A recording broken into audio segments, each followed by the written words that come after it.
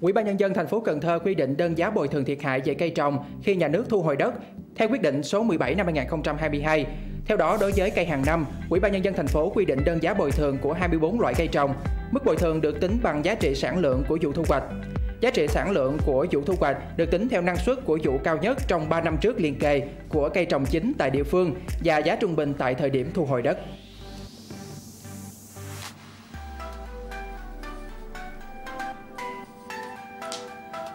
Điện lực thành phố Cần Thơ thông báo mất điện ngày 3 tháng 6. Quận Ninh Kiều một phần khu dân cư An Bình, thời gian mất điện từ 8 giờ đến 13 giờ 30.